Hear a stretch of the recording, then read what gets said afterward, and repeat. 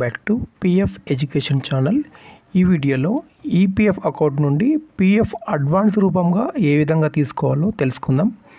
ముందుగా మనము అడ్వాన్స్ రూపంలో తీసుకునే ముందు మన ఈపీఎఫ్ అకౌంట్లో ఎంత బ్యాలెన్స్ ఉన్నాయో మనం తెలుసుకోవాలి. సో ఇక్కడైతే మనం ఈపీఎఫ్ పాస్బుక్ అని గూగుల్లో ఈ విధంగా ఎంటర్ చేసాము నెక్స్ట్ ఈ విధంగా ఈపీఎఫ్ మెంబర్ హోమ్ పాస్బుక్ ఇక్కడ కనిపిస్తుంది. దీనిపైన క్లిక్ చేయాలి. క్లిక్ చేస్తే ఈ విధంగా మనకు ఓపెన్ అవుతుంది. ఓకే ఇక్కడ యూఏఎన్ నెంబరు పాస్వర్డ్ క్యాప్చా కూడా ఎంటర్ చేసి లాగిన్ అవ్వాల్సి ఉంటుంది. తర్వాత ఈ విధంగా మనము ఈపీఎఫ్ పాస్బుక్లోకి లాగిన్ అవుతాం. లాగిన్ అయిన వెంటనే మనకు ఫస్ట్ ఇక్కడ పైన కనిపించే బ్యాలెన్స్ ఉంటుంది కదా. సో ఈ అమౌంట్ మనకు ప్రైమరీ అమౌంట్ అంటే ఫుల్ అమౌంట్ ఇక్కడ కనిపిస్తుంది ఇది full amount. So one lakh fifty eight thousand వీరి అకౌంట్లో ఉన్నాయి. సో ఇప్పుడు నేను అడ్వాన్స్ రూపంలో ఈ పిఎఫ్ అనేది అప్లై చేయబోతున్నాను. సో ఇప్పుడు ప్రాసెస్ మనము చూద్దాము. వీడియోకి లైక్ చేయండి అలానే సబ్స్క్రైబ్ చేయండి. సో గూగుల్లో ఈ విధంగా ఎంటర్ చేయండి. యూఏఎన్ అని ఎంటర్ చేసి సెర్చ్ చేయండి. మీకు ఈ విధంగా పిఎఫ్కి సంబంధించిన మెంబర్ హోమ్ పేజ్ ఈ విధంగా ఓపెన్ అవుతుంది.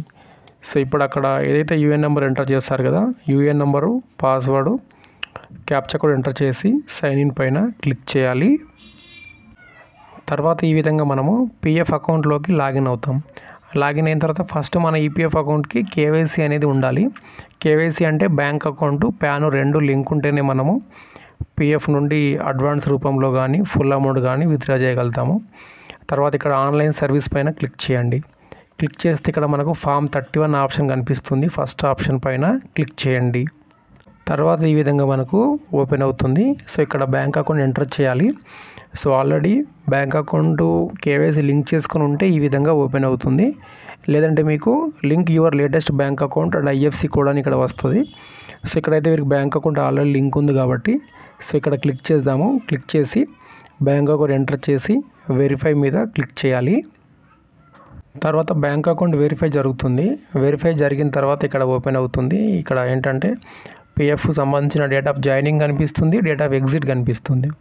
దాని తర్వాత ఇక్కడ క్లిక్ చేయాలి. ప్రొసీడ్ ఫర్ ఆన్లైన్ క్లెయిమ్ పైన క్లిక్ చేస్తే నెక్స్ట్ మనకి ఇక్కడ అప్లికేషన్ ఫామ్ ఇక్కడ ఓపెన్ అవుతుంది.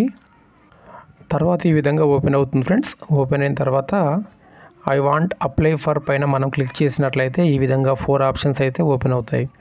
ఫోర్ ఆప్షన్స్ ఎవరికి ఓపెన్ అవుతాయంటే ఎవరికైతే డేట్ ఆఫ్ ఎగ్జిట్ ఉంటుందో వారికైతే ఈ విధంగా ఓపెన్ అవుతుంది.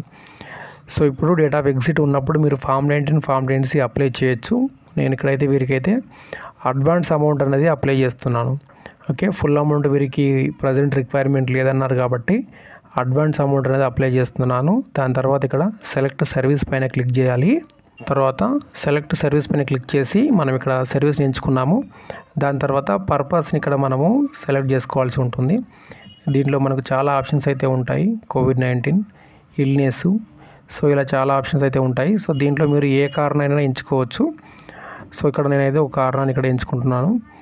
దాని తర్వాత ఇక్కడ మీకు ఎంతైతే రిక్వైర్మెంట్ అమౌంట్ ఉందో అమౌంట్ ఇక్కడ మీరు ఎంటర్ చేయొచ్చు. సో ఇక్కడైతే నేనైతే సమ్ అమౌంట్ ఇక్కడ ఎంటర్ చేస్తాను. సో వీరి అకౌంట్లో one lakh fifty eight thousand ఉన్నాయి. నేను one lakh fifty eight thousand enter చేస్తాను కానీ ఇంత అమౌంట్ అనేది రాదు. సెవెంటీ ఫైవ్ థౌసండ్ అట్లా రావచ్చు. ఓకే దాని తర్వాత ఇక్కడ ఎంప్లాయ్కి సంబంధించినటువంటి అడ్రస్ ఎంటర్ చేయాలి. సో స్టేటు డిస్టిక్ ఇవన్నీ ఇక్కడ మనం ఎంటర్ చేయాలి. అలానే చాలామంది అడుగుతారు ఏంటంటే పిఎఫ్ నుంచి అడ్వాన్స్ రూపంలో ఎన్నిసార్లు మనం అప్లై చేయొచ్చు అనేసి. ఒక వన్ ఇయర్లో three or four times apply చేయండి మీకు మంచి అమౌంట్ వస్తుంది. అంతకంటే ఎక్కువ అప్లై చేస్తే ఏంటంటే పిఎఫ్ అకౌంట్లో అసలు బ్యాలెన్సే తక్కువ ఉంటుంది కాబట్టి మీకు మంచి అమౌంట్ వచ్చే అవకాశం అయితే ఉండదు. సో ఇక్కడ నేను పిఎఫ్ మెంబర్కి సంబంధించిన అడ్రస్ ఎంటర్ చేస్తాను. ఇక్కడ ఎంప్లాయీకి సంబంధించిన అడ్రస్ ఎంటర్ చేసిన తర్వాత బ్యాంక్ పాస్బుక్ ఇక్కడ అప్లోడ్ చేయాలి.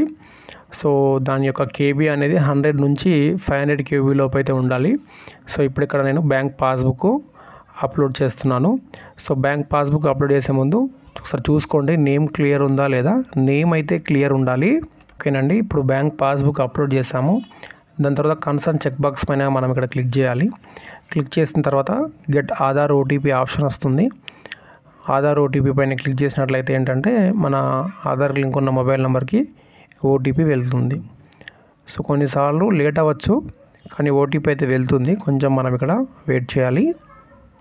ఓకే ఫ్రెండ్స్ ఓటీపీ ఇక్కడ ఎంటర్ చేసాము. దాని తర్వాత valid OTP and submit claim pay మీద క్లిక్ చేయాలి. క్లిక్ చేస్తే మన క్లెయిమ్ అనేది ఆన్లైన్లో సబ్మిట్ అవుతుంది. ఈ విధంగా తిరుగుతుంది ఇప్పుడు. సో ఇప్పుడు మన ఆన్లైన్ క్లెయిమ్లో క్లెయిమ్ అనేది సబ్మిట్ అయింది. సో ఇప్పుడు మీకు ఇప్పుడు వీరికి సంబంధించిన ఎంత అమౌంట్ క్లెయిమ్ సెటిల్ అయిందో ఇక్కడ చూసాము ఓకే ఫ్రెండ్స్ ఇక్కడ చూడొచ్చు. మనకు one lakh fifty eight thousand enter చేసాం కదా. So వీరికైతే one lakh thirty two thousand seven hundred rupees settle కావడం జరిగింది. సో ఈ విధంగా మనము అడ్వాన్స్ అమౌంట్ అనేది అప్లై చేయొచ్చు. సో ఇయర్లీ మనము three or four times apply చేయండి. మంచి క్లెయిమ్ అనేది సెటిల్ అవుతుంది. ఎవ్రీడే మీరు టూ త్రీ మంత్స్కి ఒకసారి క్లెయిమ్ సెటిల్ అవుతుంది ఏంటంటే క్లెయిమ్ అనేది లేటు మీకు సెటిల్ అవుతుంది అలానే తక్కువ అమౌంట్ ఉంటుంది కాబట్టి క్లెయిమ్ అనేది తొందరగా సెటిల్ కావచ్చు సెటిల్ కాకను పోవచ్చు ఓకేనా? డిపెండింగ్ ఆన్ పిఎఫ్ ఆఫీస్ పైన ఉంటుంది. ఇదండి వీడియో. వీడియోకి లైక్ చేయండి అలానే సబ్స్క్రైబ్ చేయండి. Thank you.